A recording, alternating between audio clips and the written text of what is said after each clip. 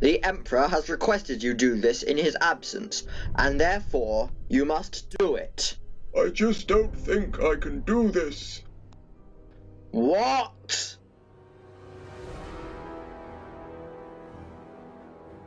Where did this girl even come from? It's a trap. We found the rebels that destroyed the Death Star. It's a Merry Christmas. Was that it?